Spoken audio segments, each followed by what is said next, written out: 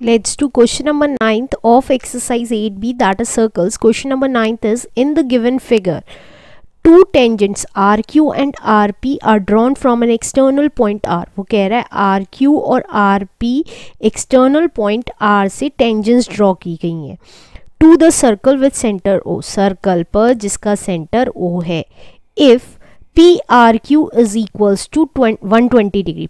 PRQ अगर ये वाला पूरा एंगल 120 डिग्री का है देन प्रूव दैट हमें क्या प्रूव करना है? O R equals to P R plus R Q ये प्रूव करना है। तो कैसे करेंगे? चलिए देखते हैं। सबसे पहले जो जो दे रखा है, वो वो लिख लेते हैं गिवन हमें गिवन में क्या दे रखा है? कि आर पी और आर क्यू दो टेंजेंट्स है। R P and Q are the two tangents two tangents on the circle. Circle पे और क्या दे रखा है? हमें एक एंगल दे रखा है angle P R Q and angle P R Q हमें दे रखा है 120 डिग्री का. और हमें क्या प्रूफ करना है? टू प्रूव हमें प्रूव करना है O R equals to P R plus R Q ये प्रूव करना है।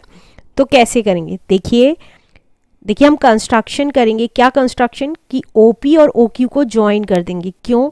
क्योंकि अगर हम ये दो ट्राइंगल्स निकाल लेते हैं तो हमें क्या पता चल जाएगा? कि ओ आर जो है वो P R plus R Q के इक्वल है कि नहीं है? कॉन्करेंसी के थ्रू प्रूव कर सकते हैं। तो हमने कंस्ट्रक्शन क्या की? ओ पी और ओ क्यू को ज्वाइन कर दिया। Construction join O P and O Q right अब प्रूफ प्रूफ कैसे करेंगे? अब देखिए, ये दो ट्राइंगल्स बन गए हैं राइट तो इन दोनों ट्राइंगल्स को ले लेते हैं। तो in triangle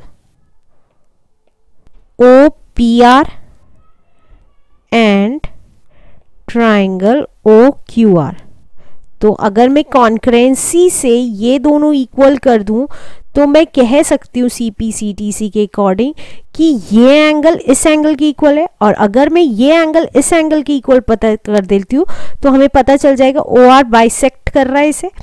तो अब इस ट्राइंगल और इस ट्राइंगल में अगर देखें ओ पी और ओ क्यू क्या है? रेडियस है। O P is equals to O Q why both of them are the radii of the circle radii हैं सर्कल के, और क्या प्रूफ कर सकते हैं? अब देखिए, हमें पता है आर पी और आर क्यू टेंजेंट्स हैं, और हमें पता है एक्सटर्नल पॉइंट से टेंजेंट्स क्या होती हैं? इक्वल होती हैं। तो R P is equals to R Q tangent है कहाँ से? From external point R external point R से टेंजेंट है। और क्या प्रूफ कर सकती हूँ? देखिए ओ आर दोनों में कॉमन है। दोनों ट्राइंगल्स के लिए कॉमन है। तो हमने कहा O R equals to O R common तो तीन चीज़ प्रूव होते ही हमारे ट्राइंगल्स क्या हो गए? कॉन्क्रेंट हो गए। ट्राइंगल ओ क्यू आर देखिए, मैंने ऐसा क्यों किया? इसको कॉन्करेंट क्यों प्रूव किया? क्योंकि हमें ये पूरा एंगल दे रखा है राइट अब ये नहीं पता आधा एंगल इसके इक्वल है कि नहीं है, ये बाइसेक्ट कर रही है कि नहीं कर रही है। तो हमने क्या किया? कॉन्करेंट प्रूव कर लेंगे उसके लिए। तो हमने यहाँ कॉन्करेंट प्रूव कर लिया। तो कौन सी कॉन्करेंसी लगी? एस एस एस कॉन्करेंसी और एस एस एस कॉन्करेंसी लगने के बाद कॉन्करेंट प्रूव होने के बाद हम कह सकते हैं angle P R O Q R O की इक्वल है।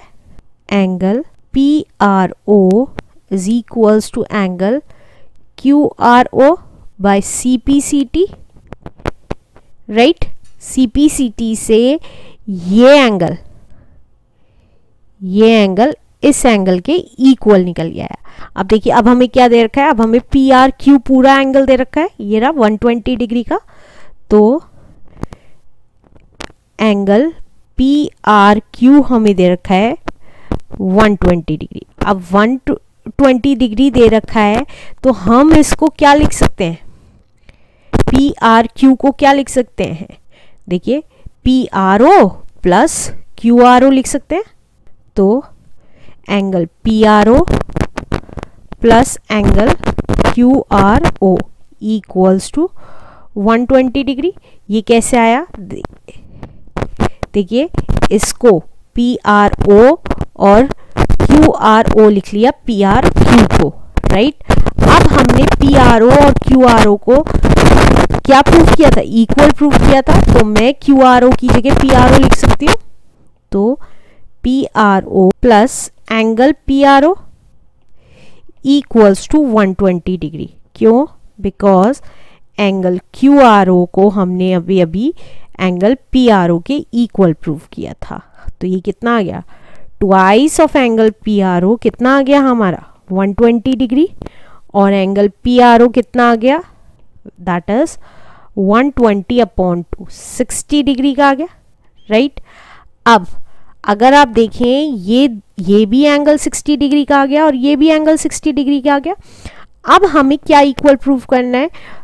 ओ आर को पी आर और आर क्यू के एडिशन के इक्वल प्रूफ करना है कि हाई न्यूज़ जो है तो कैसे करेंगे? देखिए, अब हमें पता है ओपी क्या होती है? परपेंडिकुलर होती है और हमें थीटा कितना दे रखा है? 60 डिग्री दे रखा है।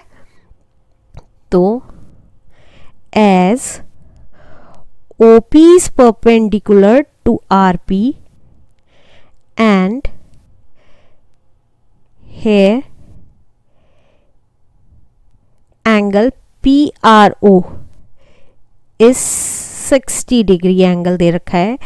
तो हम कौन सा टिग्नोमेट्रिक फॉर्मूला लगा सकते हैं? देखिए थीटा ये है, हमें पी आर चाहिए और ओ आर चाहिए। तो हाई पोटोन्यूज और बेस हो गया राइट तो बेस और हाई पोटोन्यूज किसमें आता है? देखिए, पंडित बद्री प्रसाद हर हर बोले। ये देखिए, ये कॉस में आता है, बेस अपॉन हाई हाइपोटेन्यूज। मैं ऑलरेडी सारी बुक पोस्ट कर चुकी हूँ तो प्लीज़ आप सारी चीज़ें देखिएगा। अगर आपको कहीं पे भी कोई प्रॉब्लम है, उस पर्टिकुलर चैप्टर में जाके आप मेरी वीडियो, मेरी वेबसाइट www.elearnmaths.in पे जाकर देख सकते हैं। तो ये आ गया cos 60 degree is equals to base base क्या है हमारा?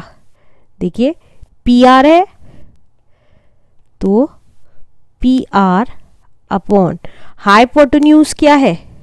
ओ आर ओ आर ये आ गया। अब कॉस 60 डिग्री की वन अपॉन टू वैल्यू होती है देखिए, मैंने आपको टिग्नोमेट्रिक की टेबल बहुत अच्छे से समझाई हुई है, याद करने की ज़रूरत नहीं है।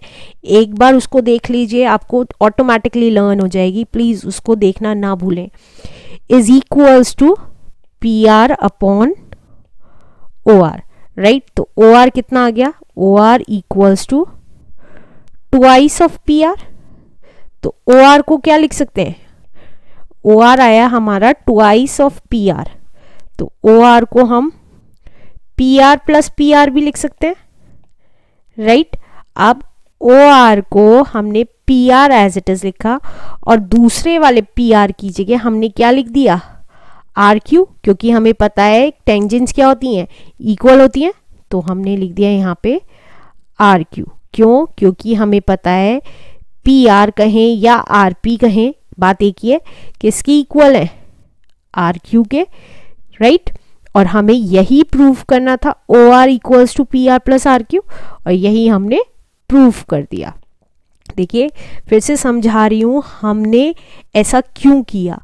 देखिए, हमें O R equals to P R plus R Q चाहिए था।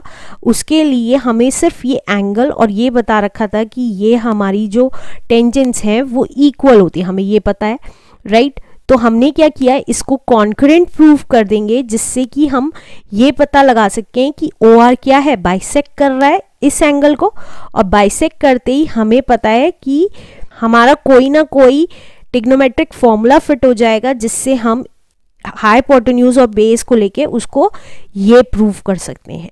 तो वही हमने किया। तो चलिए करते हैं अपना नेक्स्ट क्वेश्चन